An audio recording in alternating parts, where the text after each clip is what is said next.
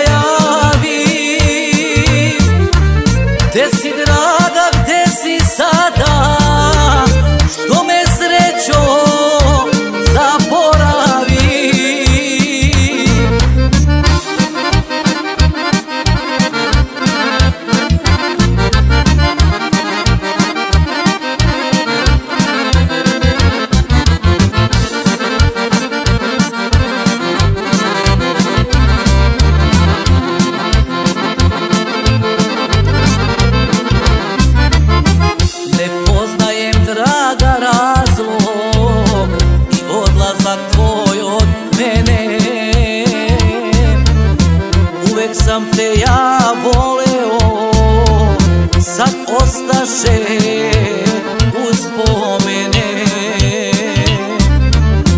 Uvek sam te ja voleo Sad ostaše uspomene Srce plače u grudima U duši se tuga javi. Gde si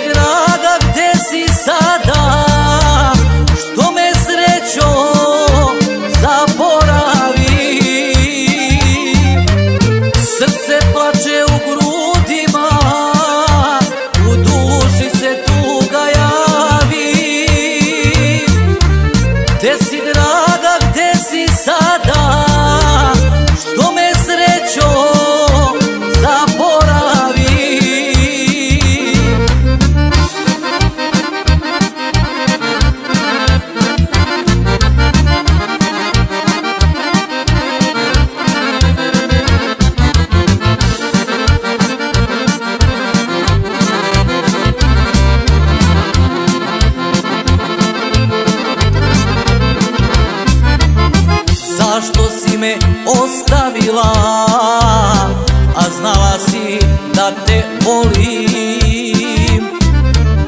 Možda nekad meni dođeš da ublažim